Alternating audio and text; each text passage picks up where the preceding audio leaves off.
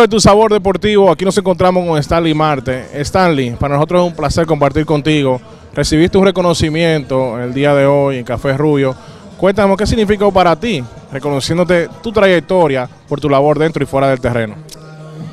Bueno, la verdad que de agradecer a Café Rubio eh, y a todo el equipo que tuvieron ahí hoy en día en ese reconocimiento que recibí, lo recibí con, con mucho gusto, mucho amor de parte de, de todos ellos. Eh, para mí se siente, para mí es algo especial porque venir aquí, un pelotero nuevo que nunca ha estado en Nueva York, eh, tener tanta gente desde mi patria, tanto apoyo y recibir algo así a través de ellos, eh, se hace sentir bien, ya que toman en cuenta cada cosa que, que aporto, cada cosa que, que, vengo a hacer a Estados Unidos y, y más la pelota. Parece que fue ayer cuando debutaste en Grandes Ligas, pero ya lleva 11 años en las mayores. Algo que es difícil cuando el promedio de un pelotero en Grandes Ligas apenas son dos años. Bueno, hoy en día es difícil, ya que con las reglas, los movimientos de que vienen aquí, se sientan, a si uno se lesiona y después de que para abajo. Pero la verdad que sí, la verdad que los años pasan rápido. Eh, cuando yo apenas subí a Grandes Ligas soñaba con tener 10 años.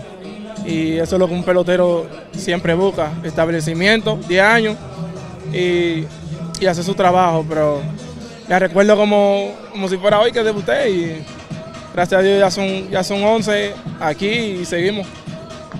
Veterano ya de grandes ligas, los Mets de Nueva York el año pasado se quedaron cortos. Esta temporada, ¿qué deben hacer los Mets para seguir avanzando en playoff? Seguir jugando, seguir, seguir jugando duro, aprovechar las oportunidades, eh, roba base, anotar, eh, todas las pequeñas cosas que, que, suceden en el terreno, aprovecharlas, porque al final son grandes y eso es lo que ahora mismo hemos estado eh, tratando de aprovechar, las cosas pequeñas para, para que al final estar arriba. Se han implementado nuevas reglas en el béisbol de grandes ligas, el reloj, las bases más grandes, que posiblemente te puede beneficiar la base más grande porque tú eres un hombre que juega agresivo y te gusta el robo de base. Bueno, sí, hay muchos beneficios sobre, sobre el corrido de base y la base más grande. Eh, y más que el pitcher, se, si se vira a través y no hace out, se mueven.